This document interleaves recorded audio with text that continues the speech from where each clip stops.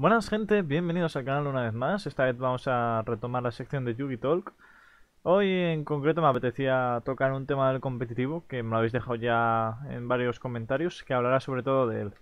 El factor que vamos a tomar hoy es el tema del side deck de cara a un evento importante o eh, ya como se conoce side deck o banquillo en general en el juego de Yugi.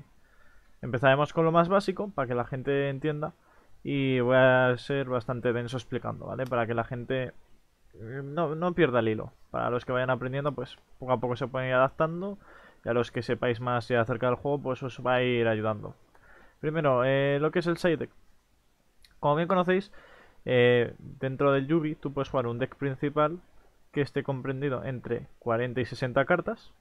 Como anécdota, la limitación de 60 se puso porque en un torneo de Estados Unidos unos hermanos jugaron un mazo así de grande la pila directamente. ¿Veis la otra mano? Pues os imagináis que está en otro país. Pues literalmente hicieron eso y se cargaron un poco el torneo. No se lo cargaron, pero sí que fueron el dolor de varios jueces. Y básicamente, aparte de las cartas del deck principal, tú tienes las cartas del extra que jugamos links, sincronías y todo eso. Aparte, en Yugi, los torneos se juegan al mejor de tres. Cuando tú acabas el primer duelo, tienes acceso a 15 cartas que has puesto tú a tu elección que se llama banquillo. La principal función del banquillo es que tú tengas una forma de adaptarte a los enfrentamientos que, tienes por venir o, o, más esperas. ¿En qué se resume esto? Pues si en Yugi se juega más un mazo que otro o tú tienes alguna forma de reforzar alguna estrategia u otra, tu acceso es el banquillo. De esta forma puedes complementarte y ganar estrategias que realmente son muy dominantes o no estás preparado en el main deck, porque en Yugi tú nunca vas a estar preparado para todo, ¿vale? Que es un pensamiento que ya la gente tiene en mente. Quiero decir, eh, hay demasiados mazos en Yugi. Tú lógicamente no te vas a preparar contra una Grisky, ¿vale? Muy ejemplo. O una... Eh, ¿Cómo se va el mazo ahora? De cualquier mazo random. Una Gladiator Beast, ¿vale? Por ejemplo. Eh, hay que tener claro lo que se juega a día de hoy. Por eso, el primer punto que yo quería comentar era el metagame. Dentro del juego vamos a ir jugando a lo largo del año. De hecho, yo espero jugar mucho tiempo a Yugi. Y eh, vais a tener distintos formatos. Dejo aquí un momento una, una cosa que es el formato actual. Dentro del formato actual, como veis, hay dos mazos que están dominando por encima de otros, que son Teara y Sprite. El porcentaje ya por sí es altísimo. Entonces, una vez que tú tienes un poco ya conciencia de cuáles son los mejores mazos, tú tienes que enfrentarte en, generalmente en los torneos de Yugi a esos dos mazos. Luego, ahí tienes que darte cuenta de saber que tienes que jugar contra ellos, sus debilidades, sus puntos fuertes. Aparte, hay, eh, según qué tipos de mazos, que pueden ser los anti-meta, los rogue. Por ejemplo, en este caso están los mazos meta y luego están los mazos shifter o mazos control, como son Flunder y Exorcister, que funcionan muy bien. Entonces, digamos que aparte de enfrentarte a esos mazos, si tú ves que hay una win condition o una estrategia clara dentro del formato, también te puedes eh, eh, frenar a esas jugadas. Por ejemplo, en caso de Sprite, ya hemos visto que la en mi esfera de Ra son opciones válidas. En caso de Teara, Shifter mismo si lo puedes llevar. O cualquier disrupción que limpie el cementerio, por así decirlo. Por eso los Bestial, los nuevos, son muy buenos. Pero bueno, eh, una vez que tenemos claro el metagame, que aquí os he dejado sobre todo lo que pasó en el ICS Minneapolis, llegamos al siguiente punto, que es el tipo de mazo que tú vas a jugar, ¿vale? Porque cabe destacar, el side deck no está hecho para todos los mazos, ni todos los mazos pueden llevar las mismas cartas. Tú generalmente en Yugi vas a jugar tres tipos de mazo. Eh, generalmente porque existen más variantes, pero en el, en el competitivo es lo que más vas a ver. Vas a ver mazos combo, mazos de midrange y mazos control. Control generalmente es muy complicado que esté ahora en el meta, pero porque Yugi llega un momento que es un juego muy rápido y puede ser más un mazo de stun, estilo Sword Sisters o eh, Flunder, que es lo más parecido que tenemos. Tú una vez ves el mazo que estás jugando, tienes que entender eh, que hay cartas que te van a venir mejor o peor para tu mazo. Por ejemplo, si estoy jugando un mazo full combo que no depende de la normal, que es el caso de eh, Runic, con, con la Sprite o la Teara, con Dangers, yo puedo tener acceso a cartas como Lava Golem que, y Esfradera, que lógicamente que si yo juego Flunder no, no jugaría. ¿Sabes? Sobre todo Lava Golem porque es especial, el otro me gasta la normal. Entonces, a partir de ese punto, una vez que tú tienes localizado dónde se encuentra tu mazo, tienes que entender eh, ese tipo de cosas. Si juegas un mazo mucho extender, puedes depender de ir a, a, romper mesas, que es generalmente la facilidad de los mazos de combo, o si juegas un mazo de midrange, igual necesitas debilitar esas mesas con hand traps o cualquier otra cosa. ¿Vale? Eso es un punto muy importante a la hora de tenerlo. Luego, eh, tenéis que tener en cuenta un factor importante, que una vez que ya tenéis decidido el mazo que vais a jugar, en este caso voy a jugar, eh, ejemplo, Teara. Teara es un mazo del meta, tengo que ver qué cartas del side deck se adaptan, sobre todo, a mi estrategia. Por ejemplo, Shifter es una carta muy buena, pero no se va a jugar en Teara. ¿Por qué? Porque es una carta que es contraproducente para mí, se tira muy situacionalmente y ahí depende mucho, sobre todo, el tema del side deck.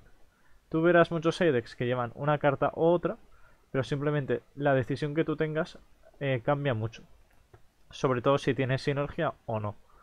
Eh, digamos, si yo juego pues Teara con el engine de Danger, pues el Twin Twister igual me vale más que el Cosmic, porque al descartar un Danger voy a hacer efecto. Es un ejemplo bastante simple. O, si me doy cuenta, una forma de frenar en el meta, los Tearas, y bueno, muchas fusiones son un buen target de virus que puede frenar al mazo del rival. Un punto muy importante es eh, si vuestras cartas, eh, digamos, son buscables o no a la hora de tomar estas decisiones. Pero bueno, eso lo tengo más apartado. Porque tengo más o menos un esquema de, los temas que quería tocar. Y aquí viene el tema principal de las cartas de side deck que existen para jugar a Yugi. Digamos que tú juegas un side deck de ir primero. Que son básicamente cartas que tú quieres o eh, tener una carta muy opresiva, en caso que sea anti-spell. Anti-spell generalmente te vas a meter primero para frenar la jugada del rival automáticamente o tener cartas de asegurar turno 1. Dígase un juicio, dígase si quieres jugar TTTs por si no quieres que te frenen, Calez contra el Shifter y ese tipo de cosas. Aparte, existen las cartas de ir segundo. Son cartas que solo te van a ser útiles, generalmente, porque aquí viene el tema de que hay cartas más versátiles o no, eh, de, segunda mano. Digamos, si yo una Super Poli la puedo llegar a setear, me puede llegar a ser útil, pero realmente yo le voy a sacar utilidad yendo segundo para romper una mesa del rival. Para que le pueda sacar otro uso. Igual que Droplet, pero la Droplet es bastante génica. O Dark Ruler, que es un caso claro de carta de ir segundo. Dentro del side deck tenéis que tener en cuenta que hay un factor muy importante. Y es si esa carta tú la quieres ver en tu mano inicial antes del robo. Porque, por ejemplo, cartas como Droplet o Dark Ruler te cuenta al sexto robo y eso en términos de consistencia se nota. Por eso muchas veces las jugadas de romper campos, tú directamente ignoras un poco, robas carta y dices, ahí va, pues tengo muchas más probabilidades. Factor jugar Prosperity ayuda mucho sobre todo en estas estrategias. Porque por ejemplo, eh, si tú usas Prosperity y juegas una jugada de romper mesa, tu rival o te niega la Prosperity o seguramente te añadas o una Super Poli, una Dark Ruler, una mina para romperle la mesa. Aparte, existen cartas que son muy buenas en general, que te pueden servir tanto para ir primero como ir segundo. Este tipo de cartas eh, depende mucho del formato y del impacto que tengan. Porque digamos que eh, hay cartas o formatos que directamente pues las handras no son tan útiles y las handras de por sí son buenas tanto de primero como de segundo. Porque tú montas una mesa, la carta no se te va a quedar muerta, luego le frenas al rival son distintas interacciones. Y básicamente eh, existen las win condition. Las win condition eh, son cartas que tú usas directamente para ganar la partida y no quedar al mazo. Dígase ejemplo de... Eh, ah, estoy pensando ahora uno, el Thunder King Roijo, que se usa para la Sprite, para el Mirror. Anti-Spell, como he comentado, para mazos de Despia, le puedes fastidiar. O, como se dice, la Dimensional Barrier. Son cartas directamente de impacto. Y aparte, existe eh, lo que son los removal de mágicas y trampas. Este tipo de cartas eh, las usarás mucho, sobre todo contra mazos que tú sepas que en el formato lleven alguna Floodgate o carta que te pueda fastidiar. Si no es tu caso, puedes incluso obviarlos dependiendo de distintos factores, que tengas un removal ya en el main deck. Digamos que estás jugando Elrich y con Elrich vas a poder ir petando todo el rato, entonces tampoco te va a perjudicar mucho. O directamente que eh, no te afecte las floodgates actuales. Quiero decir, Rivalry y Skill yo creo que son las más actuales. Sobre todo cuando se juega a Teara, que se mete en Skill o algún mazo estilo Madmatch que lleve Rivalry. Si no te afectan estas cartas, o tienes ya una estrategia para jugar en torno a ellas, no lo vas a necesitar, ¿vale? Y vamos a ir a lo que es ya el punto número 6, que es que a la hora de montar el banquillo, tú tienes que tener en cuenta el mazo que estás jugando. ¿A qué me refiero? Yo estoy jugando Teara. Tengo que ponerme en la mente de mi rival y pensar, ¿qué haría mi rival si yo estoy jugando Teara? Pues se me pondría Shifter, se me pondría los dragones, se me pondría distintas cartas. ¿Qué quiero decir con esto? Tú tienes que conocer cuáles son las debilidades de tu, de tu mazo, tanto a nivel de mazo en general como tus peores enfrentamientos. Tú una vez tengas un, un, un side deck bastante sólido en lo que se refiere a cubrir el meta actual, tienes que básicamente ver que tus debilidades, como puede ser monstruos inmortales, como son Abramax con Masquerena o el, el Cyberso Dignister, te los puedes quitar. Básicamente tienes varias opciones, pero las tienes que llevar de propio para esas cartas. ¿Qué quiero decir con esto? Si tú no te esperas eh, o no asumes ese factor, automáticamente vas a autoperder esas partidas contra esas cartas. Igual que no tener una autamina en todo el main deck o el side, que creo que hoy en día es obligado. En main deck no es tan obligado, pero bueno, se sobreentiende lo que quiero decir. Entonces una que yo sé, por ejemplo, una debilidad de mi mazo, yo tengo que buscar la forma de contrarrestarlo. Ejemplo, yo invoco un Reinhardt, voy a tirar una fusión de Teara. ¿Y qué hace el efecto? Para fusionar. Mi rival me va a tirar un, eh, un Bestial. Y me va a frenar la jugada.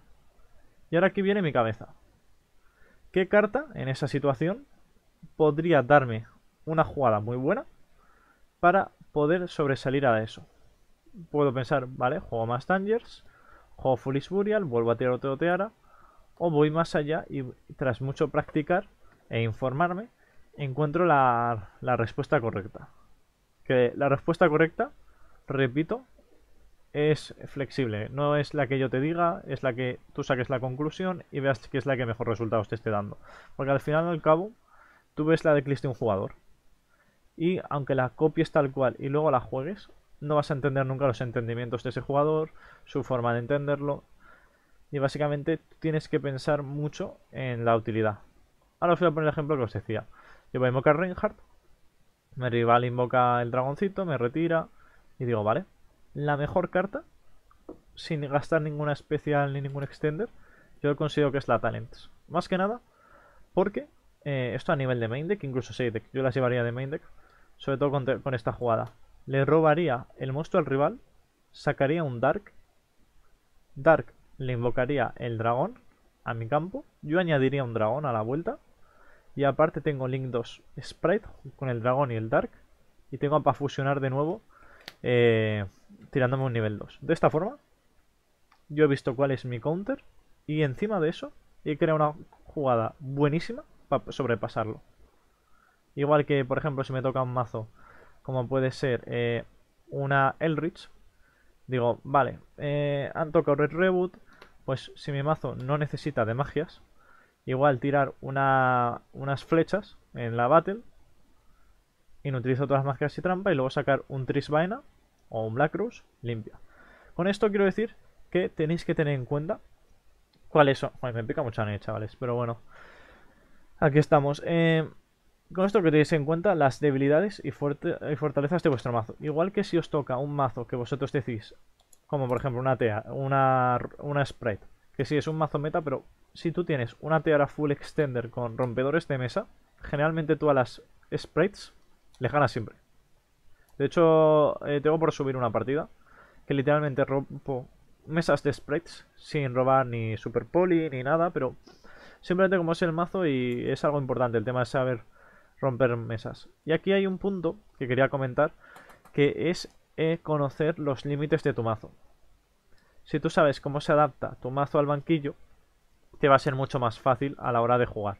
Porque si tú sabes que directamente tirando X handtrap en X situación a X mazo, le vas a frenar o lo vas a dejar totalmente inútil. Porque, por ejemplo, si yo juego Tear, sé que la carta más problemática que va a mi rival es una Abyss Dweller. ¿Y cómo freno yo un Dweller? Con una Super Poly en la Drawfish o con una Droplet. Si es formato Dweller, ya sabemos lo que hay que jugar. Pues simplemente sacando estas conclusiones, tú ahí ya empiezas a montar el mazo. Entonces una vez que tú tienes las debilidades del mazo, tienes que ir a lo que es el, los cambios y el game plan. Y aquí tengo yo, por ejemplo, un ejemplo, cabe la redundancia, bastante, bastante curioso. La decklist, como os digo, no hace falta que os la toméis en serio, ni mucho menos. Es una que tenía yo de ABC antes de que viniera lo nuevo. Pero eh, básicamente yo que lo que quería enseñaros es un poco cómo está estructurado mi mazo y qué cambios puedo hacer. Porque tú una vez que metes cartas del banquillo, tienes que, eh, si quitas tres cartas, tienes que quitar tres del main deck para cambiarlas. ¿Sabes? No puedes meter ni más ni menos. Tiene que ser un, eh, intercambio equitativo. Entonces, por ejemplo, yo ya tengo el mazo ya pensado para, para jugar en algo en concreto. Por ejemplo, imaginemos que me toca una Flunder. Yo de por sí tenéis que conocer cuáles son los flex spots de vuestro deck. ¿Qué quiere decir esto? Hay cartas que son inamovibles totalmente porque son las mejores. Por ejemplo, dudo que alguien que juega a veces se vaya a quitar un hangar. ¿Vale? Solo tenéis que conocer qué cartas son sí o sí totalmente dependientes de vuestra estrategia. Y una vez que lo sepáis, tenéis que ir viendo qué cartas sirven o no sirven en cada enfrentamiento. Imaginemos que me toca una Flunder. Pues a una Flunder, yo sé que la Mooner no le vale de nada. Sé que el Crow no le vale de nada. Sé que el Nibiru es situacional, pero muchas veces no le vale de nada. Pues una vez que tengo ya esas tres, ya veo un total de nueve cartas. Yo anteriormente ya he hecho un trabajo de que en caso de que tenga que jugar contra ese mazo, en concreto porque Flunder es un mazo que ya tengo de por sí, pienso, vale, pues qué nueve cartas me debería meter. Twin Twister, lógicamente, es un removal que se tiro en la standby porque yo ya conozco un poco los enfrentamientos. Me meto tres ogras para el campo y me meto triple skill drain porque es literalmente un auto win, win first o win second. Poco más que comentar. Eh, imaginemos que me toca otro mazo que puede ser una una sprite, una sprite. Una sprite, literalmente. Hay que ver eh, las cartas como tienen de impacto. Actualmente el Crow o el retirar del cementerio no es tan bueno contra las sprites como antes. Entonces, la Ogre la veo una carta mucho más, eh, más eficiente. Y directamente cambiar Crow por Ogra no me cambia nada la estrategia. ¿A qué voy con esto? Una vez que tú haces estos cambios, tienes que entender, literalmente, eh, en qué afecta la estructura del mazo. Por ejemplo, eh, este es el ratio de ABC que yo estaba jugando antes que era 2-2-2, pero antes he jugado 3-3-3. ¿Qué quiere decir esto? Yo si soy consciente de que no hace falta jugar tantas copias de un monstruo de otro, yo puedo recortar directamente. Igual que Prosperity, puedo quitar una u otra carta dependiendo de cómo encaje el side deck.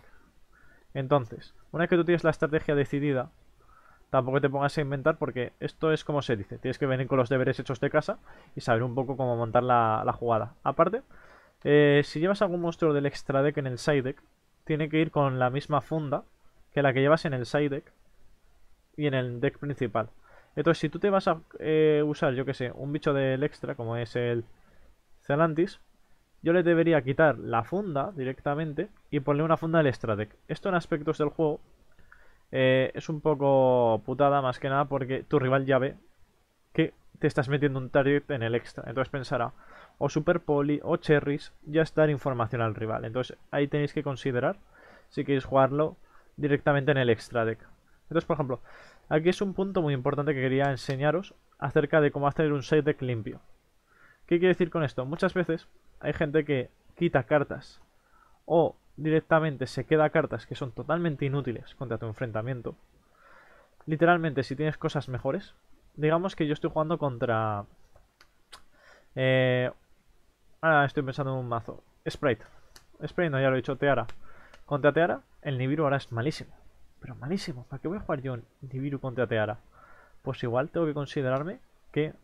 Eh, Gospel me pueda valer porque al menos evito el efecto de, de una carta. Aparte con Tateara, ¿me vale de algo robar cartas más tarde? No, pues directamente el cambio correcto que yo haría si jugara contra una Teara sería quitar las Prosperity, porque no necesito las cartas tardías, que igual que contra Control, pues sí que quiero ver ese Twin Twister sí o sí, y esto me puede aumentar los porcentajes, y añadir Rivalry porque es un auto-win de manual contra ese mazo. Eso ya son puntos para empezar. Y bueno, a ver qué, más puntos tenía aquí para ir comentando. Una vez que tú haces esto y entiendes cuál va a ser tu game plan, de, Buah, pues me voy a meter Evenlist, me voy a meter Lightning, contra este mazo iré primero, contra este iré segundo, si me hacen ir segundo haré esta jugada, si tengo que jugar en torno a Nibiru, pues igual hago X jugada. En viene el tema del testeo. Durante el testeo, tú lo que vas a ir haciendo es básicamente eh, ver tus repeticiones, ver sorpresas e ir apuntándolas en tu cabeza o en un libro o lo, que quieras. Por ejemplo, ahí va, eh, es que me acaban de sorprender que me han jugado el combo del grifo. No sabía que era tan popular. O, no, o veo que lo juega demasiada gente. Pues igual tengo que meterme crows para quitarme el target del grifo. Ahí va, es que ahora todo el mundo está llevando... Eh, ¿Cómo se dice? Demasiado... Mannequin Cat. Pues igual llevar Mind Control o alguna carta que lo robes directamente puede ser buena. ¿Qué quiero decir con esto? Si la gente ves que no está llevando eh, Nibiru Main, que fue el caso de Minneapolis, pues aprovecharlo a tu favor. Entonces, conforme vas testeando y ves sobre todo conocimiento extra de tu mazo, situaciones que se te atascan. Porque digamos que tú ves, ahí va, es que igual he jugado 10 mirrors de Teara y he perdido todos. O es que me ganan todas las sprites. Eso significa que o no estás lo suficientemente preparado para ese enfrentamiento o necesitas darle una ida de, de, de, olla o como se dice, una, vuelta al enfrentamiento en general, ¿vale? Entonces, por ejemplo, ahí lo tendríamos. Una vez que tú ya tienes ese, eh, ese análisis de testeo, tienes que llegar a la conclusión. Vale, esto me gusta. Veo que es necesario llevar más cartas, veo que no. El mazo se adapta, es consistente, realmente necesito reforzar el primero, realmente hay alguna debilidad, yo hago los ajustes. Y sería un poco ya repetir el mismo paso. Tú vas a repetir esto hasta que los resultados que tú veas son los que a ti te gusten. Hay veces que tendrás más tiempo, hay veces que tendrás menos tiempo, pero al final será un side con el que tú te hagas, eh, te hagas, ¿cómo se dice? A gusto. Lógicamente, eh, aquí podéis preguntar a mucha gente que ya juega el mazo, jugadores de vuestra zona, jugadores más experimentados, que os den una segunda opinión. Pero al fin y al cabo, si el trabajo no lo haces tú, desde tu casa, o no te informas, o no das una conclusión tuya propia, el rendimiento en el torneo se va a ver muy reflejado. Pero muy reflejado. Y sobre todo, eh, ya os digo, antes de copiar cualquier decklist, entenderla. Es súper importante. Si no entiendes lo que estás copiando, literalmente eh, no estás haciendo nada. Y bueno, eh, no sé cómo habrá quedado el vídeo. Muchas veces me quedo hablando porque sí, la verdad. Me, me, quedo ahí sin, sin, parar. Y eso es lo que quería transmitiros acerca del side deck. Si queréis que hable de algún tema de Yugi en general, ya sea Yugi competitivo, Yugi casual, alguna cosa que haya pasado, o preguntas que queréis hacerme, directamente, pues. Eh, bueno, ponéis en los comentarios, chicos. Es cualquier cosa, darle me gusta si os ha gustado el vídeo dale a la campanita, sub, cualquier cosa. Y bueno, hasta la próxima.